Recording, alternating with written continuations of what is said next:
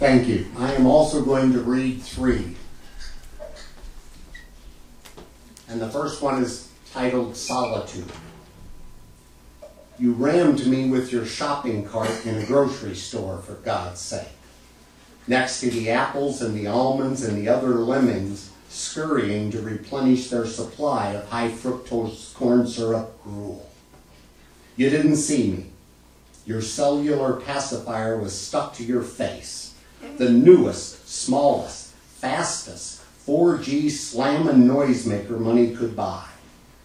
You suckled like the runt of a litter fighting siblings on the belly of a sow. You fear being alone in a crowd. You fear solitude, somber and silent. You cut me off in traffic in your gasoline-engorged SUV. You didn't see me.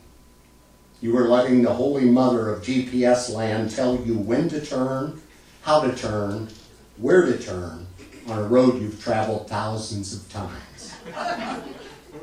You obey the voice behind the curtain because you fear being alone in bumper to bumper traffic. You fear solitude, somber and silent.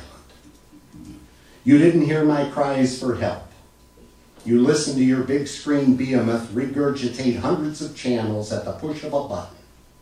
You remotely flit from one to the next like a moth seeking a brighter flame. A televangelist informs you that a fetus can sing the Star Spangled Banner. When you listen, you don't hear. When you hear, you don't listen. Background noise is your narcotic of choice, and you are addicted. You crank the volume up from sunup to sunset in the hope that it will drown out, that it will make null and void solitude, somber and silent.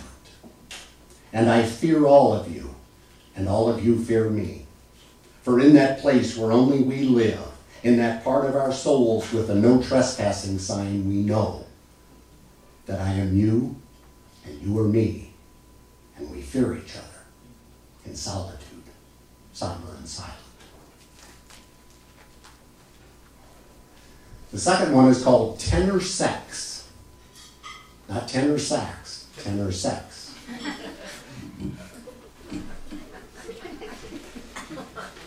I'm getting excited just saying.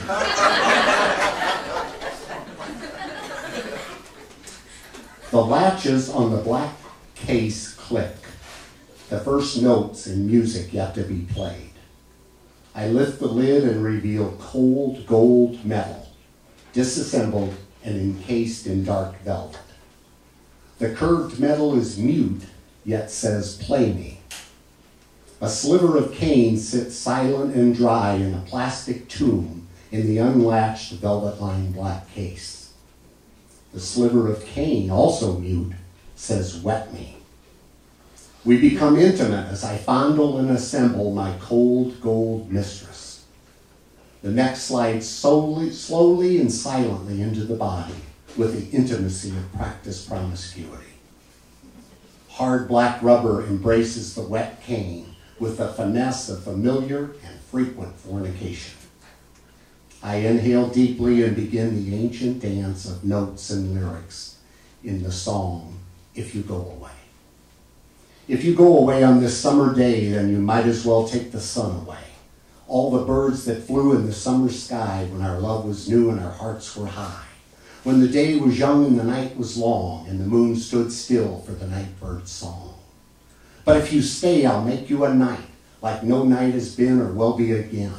I'll sail on your smile, I'll ride on your touch. I'll talk to your eyes that I love so much. Then if you go, I'll understand. Leave me just enough love to hold in my hand. The notes and unspoken lyrics rebound from the floor to the walls to the ceiling in a conjugal cacophony.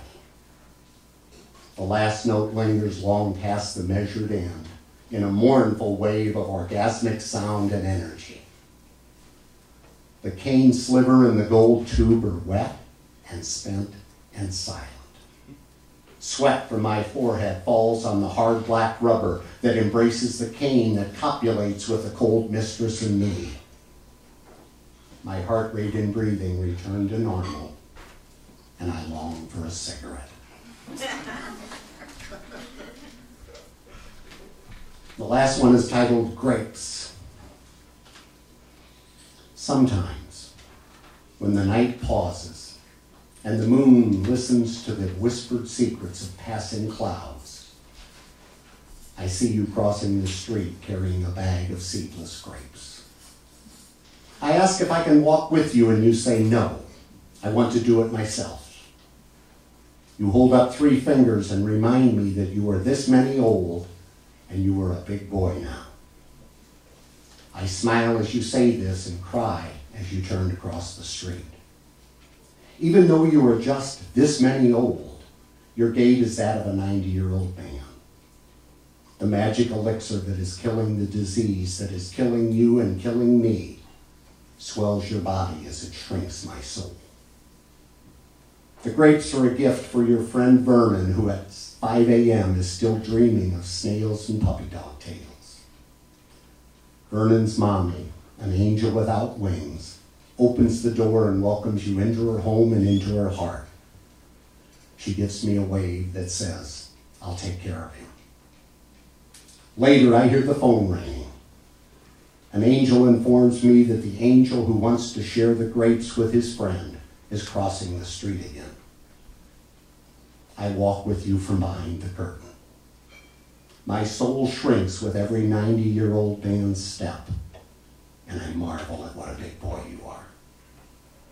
I don't see you at the bus stop on your first day of school.